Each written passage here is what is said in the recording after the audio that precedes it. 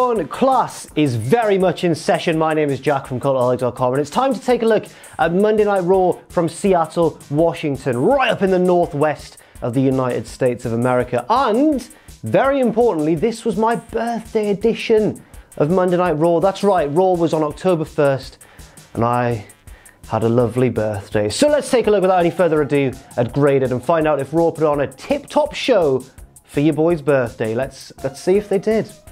Let's see if they did. So we kick things off uh, in wise fashion, I believe, with yes, it was a talking segment, but it was an interview in the ring with Dean Ambrose, the man with all of the question marks flying around him after last week on Raw when the heels tried to tempt him away from the Shield, but he appeared to stick with the Shield last week, albeit in uneasy fashion. In the interview, Ambrose kind of teased the fact that, you know what, he's Dean Ambrose, he's a lunatic, he's unpredictable. Maybe he drove Roman Reigns' car off the road on the way to the arena, the venue, and that Roman isn't going to turn up at all. That got a cheer, obviously, because fans are heartless. But in the end, Dean was just sort of messing about and said, you know what, the Shield are my brothers and I'm with them. I'm ride or die with the Shield. And that's that. And then Baron Corbin came out to stir up a little bit of trouble, he did. Corbin, in sort of Teddy Long fashion, offered, he didn't do the dance very sadly, but he sort of offered Dean Ambrose three choices. He said, listen to me and I will grant you these choices three. Choice the first, Dean. You can have an Intercontinental Championship match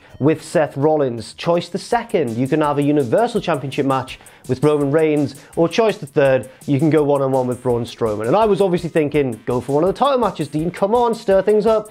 Dean sort of avoided the question, which was really clever because we don't know what he's thinking. And he said, you know what? How about I just go one on one with you right now, Baron Corbin? And Corbin went, right, well, you know what? I'll just pick, I'll just pick for you. You can go one on one with Strowman right now. Now, yes, this was an opening segment and it wasn't the most exciting thing in the world, but I thought every single thing in it made absolute perfect sense. Also, Dean was great on the microphone. He's very consistently charismatic. He's always a great promo guy. And I enjoy Baron Corbin's devilish little choices. So I'm going to give this an A minus, although despite the lack of, you know, action or shock, it was still a strong opening to Monday Night Raw. Then straight away we had the match between Ambrose and Braun Strowman and it went exactly how you'd expect that sort of match to go. Strowman dominated at first because of his size and strength, but then Ambrose bravely in a babyface way fought his way back into the match. But I liked it because it wasn't in the overly wacky way that he used to back in the day. Now that we have short hair Dean Ambrose and bigger arms Dean Ambrose, Dean Ambrose large arms edition, it really sort of worked because Ambrose was fighting back, but not in a not in a silly way. He was just being a bit of a badass. Strowman then eventually managed to hit the running power slam and then didn't go for the pinfall. He dragged Dean Ambrose back up by his hair to deal out more punishment, but before he could, Roman Reigns ran out and punched him, big Superman punch to Braun Strowman for the DQ victory for Big Braun. Then Rollins also came out and the pair helped fight off Braun Strowman and save Dean Ambrose, but afterwards, in a nice little backstage segment, Ambrose was furious at Seth Rollins and said, look, I didn't need help. The match wasn't over. Yes, he hit me with the power slam, but I'm Dean Ambrose. And you know what? And this was brilliant. This was a really good line. He went, and you know what as well, Seth? I could be Intercontinental Champion right now. Not just implying that he could have taken the match with Rollins, but also saying, you know what? I would have beaten you as well. I'm going to give this a B+. plus. It wasn't the most spectacular match. It was pretty basic, but at the same time, it really made sense. I was very frustrated by Roman Reigns running in before the match was even over, but it made total sense in terms of the storyline because if he'd run in to sort of save Dean Ambrose from a beatdown after the match, then that would have been totally justified. But the fact that Roman is overstepping his mark and really trying to save Dean Ambrose, even though he didn't necessarily need help yet, I think that's very in character for Roman Reigns. You know, I'm the big dog, I'm the strong one, I can do what I want. And Ambrose's frustration afterwards was very compelling. So a B plus, I thought this was pretty damn exciting. So a great start to my birthday edition of Monday Night Raw. Then Baron Corbin came out and went, right, you know what, Roman Reigns, you're going one on one with Dolph Ziggler right now. But, and this confused me, and I don't know if I just missed a little detail about why it happened or not, but this was originally going to be for the Universal Championship, and then Corbin went, whoa, whoa, whoa, whoa, whoa. This is a non-title match. Let's just get that clear right now. So this was really strange because Ziggler didn't even look particularly pissed off at that. I mean, I'd be really annoyed if I was, you know, robbed of a title shot, a title opportunity, sorry. We're speaking, we're in WWE land here, we need to use words like that. But um, this was a really good match, to be fair. Roman Reigns and Dolph Ziggler appear to have a really good chemistry together. There were a lot of near falls. For example, Ziggler rolled up Roman at one point, held a hold of the tights, but then Reigns kicked out and stuff like that. It was really good. Ziggler um, almost got the win on several occasions, but eventually he got caught with a big spear. Roman Reigns picked up the victory and would have retained his title if it was a title match, but because it was non-title, nothing really changed. He just beat Dolph Ziggler as we'd expect him to. I'm going to also give this a B. It was a better match than Ambrose versus Strowman, but the booking of Ambrose versus Strowman was far better than this one because I spent a lot of the match thinking, why has Corbin made it non-title?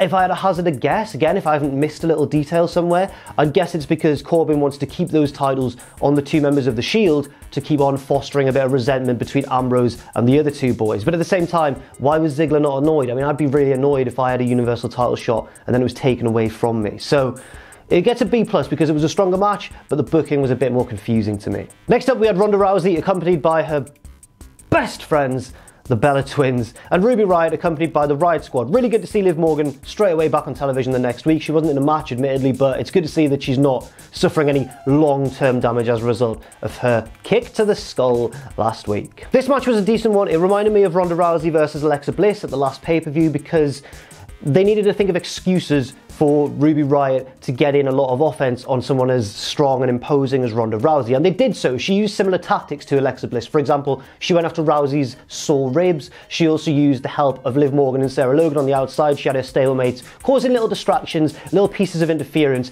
to help her really gain a foothold in a match where she should have realistically been squashed immediately. So it all made quite a lot of sense. And I like that. In the end, Ronda Rousey won, and I'm going to give this a B. I was going to give it a slightly lower grade, but I'm giving it a bit of a higher one just because I think that Ronda Rousey is displaying incredibly good instinct as a pro wrestler despite her lack of experience compared to just about everyone else on the roster. Uh, her shirt got a little bit torn at one point during the match, but rather than just get rid of it or ignore it, she waited until her babyface comeback towards the end of the bout and then ripped it off like in a Hulk Hogan way, which kind of really got the crowd behind her. So I think that the fact that she waited to do that that, kind of like how Angle would wait until a key moment to pull the straps down or whatever, shows really good timing and really good instinct on her part. I was really, really impressed by that. So Raw got off to a really, really strong start, but then the second hour sort of just kind of went downhill a little bit. And this was the first match to really start that decline. It was Bobby Roode versus Konnor from The Ascension. This was a pretty short match. Basically what happened was Bobby Roode lost because Chad Gable was like doing some kind of pose or taunt on the apron or firing the crowd up going,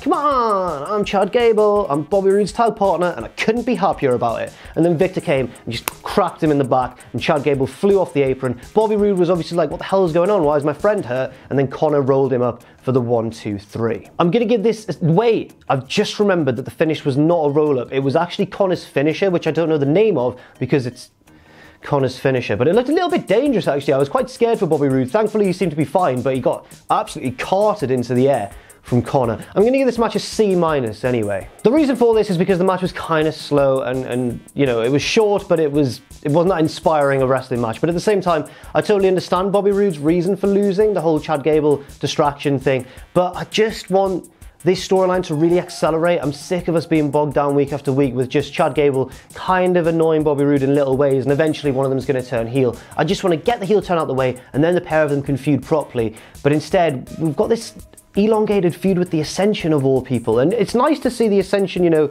get opportunities that they wouldn't normally get, but they shouldn't be beating Bobby Roode or Chad Gable. Far, far more established superstars than them, really. Next up, oh, maybe my least favourite part of the show. We had the B team versus the Revival, a feud that I honestly thought was over now that the Raw Tag Team Championships are elsewhere. They're on Ziggler and McIntyre.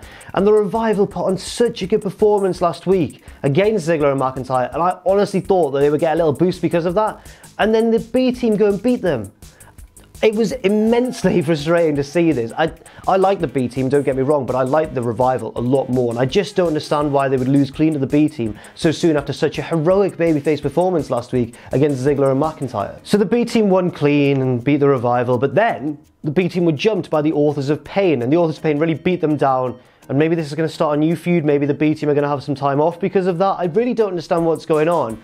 But overall, I'm going to give this segment a D minus. I found it really, really frustrating. Next up, we had Seth Rollins versus Drew McIntyre. But before the match, the three heels, Strowman, Ziggler, and Drew, all met backstage, and Strowman went, "Right, Drew, you really, really got to beat Seth Rollins here. We can't be having another weak link in the team." And then he stared at Dolph Ziggler, and Ziggler was like, "Gulp," because the other two lads are much bigger than him, obviously yeah, it was fine. It was fine. This match was pretty good. We already know that Seth Rollins and Drew McIntyre have really good chemistry. In fact, Drew and just about anyone has really good chemistry. Drew is a real asset to WWE right now. I mean, he was having great matches with Dean Ambrose quite recently, another great match against Seth Rollins, but one that suffered a lot because of a very predictable finish, thanks to that little pre-match segment featuring the three heels. Basically, towards the end of the match, Rollins looked to be picking up steam, and then Dolph Ziggler ran out, caused the distraction, and this allowed Drew McIntyre to pick up the victory. Mm. It was okay. Again, this was a non-title match, so Drew McIntyre doesn't win the IC title, but it was good for what it was until the finish. I really didn't like the finish because I just because I knew it was coming so far in advance. That's not me bragging, by the way. Like if you have seen Raw, I'm sure you saw it coming as well. If you didn't see Raw, you probably would have seen it coming just because it was telegraphed so much by that opening little pre-match segment. So I really struggled to grade this segment. Um, I was really torn because I really enjoyed the match. I thought it was pretty pretty decent for what it was. It wasn't the longest match, but it really really suffered because of that finish. I think I'm going to settle somewhere on a B minus. Not the most inspiring part of the show, but certainly not the worst thing on the show either. Next up, oh my goodness, Kevin Owens and Elias who came out, and this was my favorite part of the show. I think.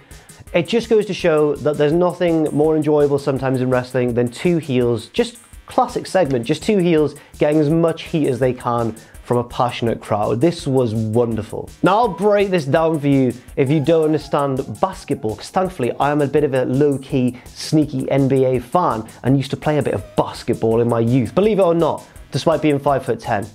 It was tricky once everyone else hit puberty too, and you know, yeah, no offense to anyone beneath 5 foot 10, I'm with you. We're all short kings together, you know? I'm a bit of an average king, but you, I've got your back, is what I'm saying. Basically, KO and Elias said, There's no way we're going to lose to John Cena and Bobby Lashley in Australia. That is ridiculous. Almost as ridiculous an idea as the city of Seattle having a basketball team. Because Seattle used to have a basketball team, the Sonics, and then they moved away to Oklahoma. They're now the Oklahoma City Thunder and the heat was immense. The crowd were booing constantly. It reminded me of when a great indie wrestler like Zack Gibson or somebody, there's a wrestler on the UK indie scene, he's also part of NXT UK called Zack Gibson, who is a master at getting heat from the crowd and they boo throughout his promos to the point where you can't really hear him. The crowd were this loud for Kevin Owens and Elias. They were booing so loudly that Owens and Elias had to shout into their microphones and you still couldn't really hear them properly. It was hilarious. You could tell that both guys were having a whale of a time. They were trying hard not to laugh themselves, I think. It was really classic heel work and it was executed wonderfully well. Then, you know, Lio Rush came out and defended Lashley and Cena and said, you know what, Cena's a legend, he's the greatest of all time, and everyone knows this, and that got a bit more of a boo.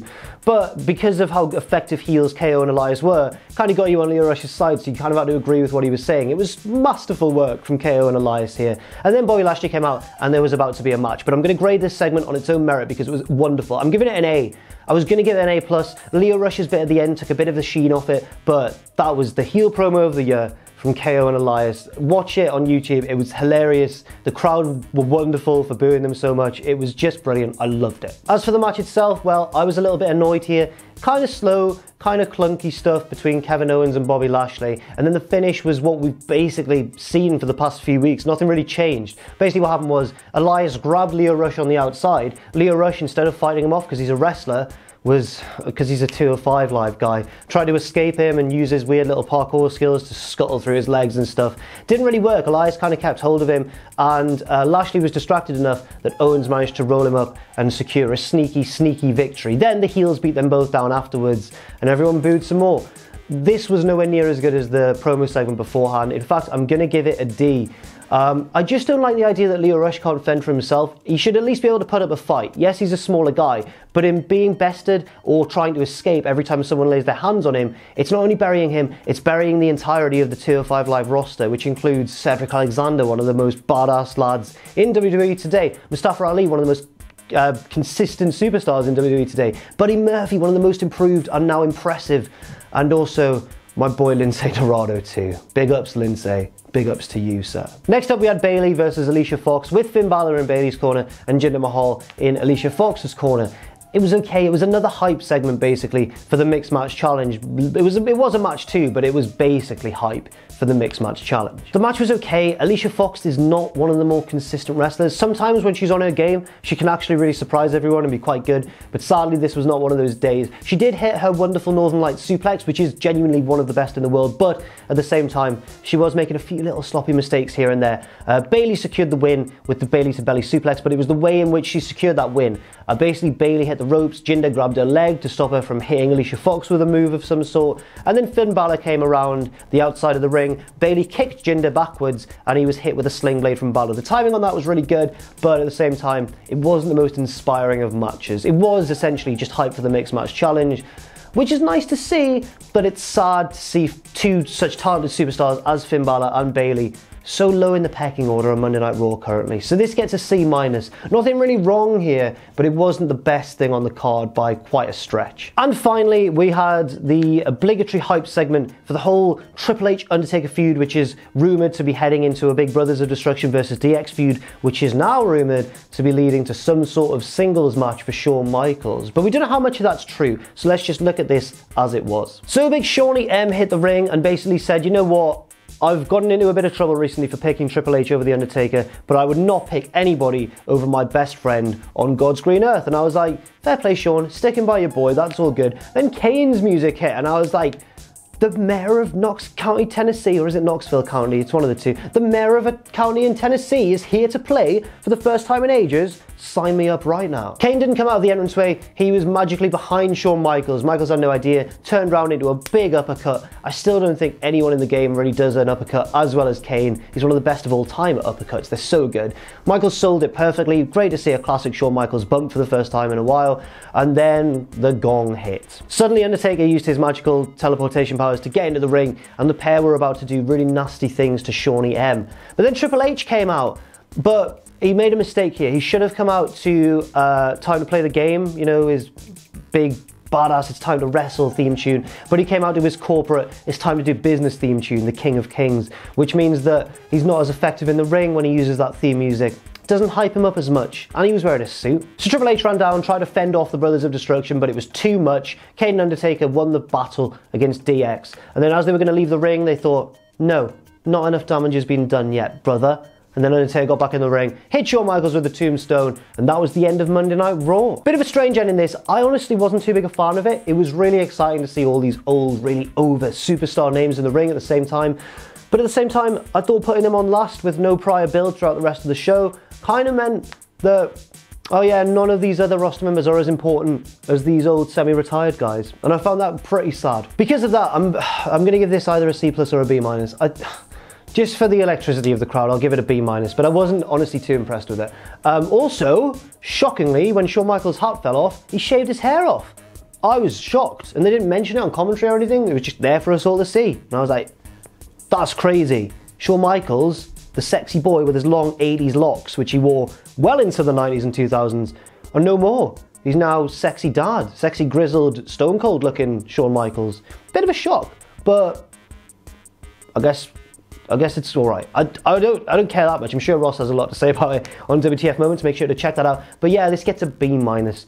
Uh, so it's time to give my overall thoughts on Monday Night Raw. So I don't really know what to give Raw because the first hour was really, really strong and then a lot of the rest of the show was really inconsistent. And then I think that was all kind of summed up by just chucking all the veterans out at the end to do their thing and it all felt a bit like it was meant to overshadow the rest of Raw. I really enjoyed the ongoing Shield storyline, or most of it, with Dean Ambrose, but on the whole, I wasn't too impressed with Raw. Not too impressed. There was a lot of frustrating stuff going on here. I think the action though was generally quite good, so I'm going to give it a B minus. Pretty good wrestling for the most part, inconsistent booking and storytelling. So for my birthday, WWE did all right. They gave me an all right Raw, and that means that I'm I'm probably going to have an all right year of my life because my birthday's got off to an alright start. Thanks very much WWE and thank you very much as well for watching this episode of Graded. I've been Jack from cultaholic.com. Uh, you can follow me on Twitter if you want to Jack the Jobber. You can follow all of us at Cultaholic generally. And if you want to as well, check out our Patreon, patreon.com forward slash cultaholic. And never forget, of course, if you haven't already, to hit that subscribe button and to join us.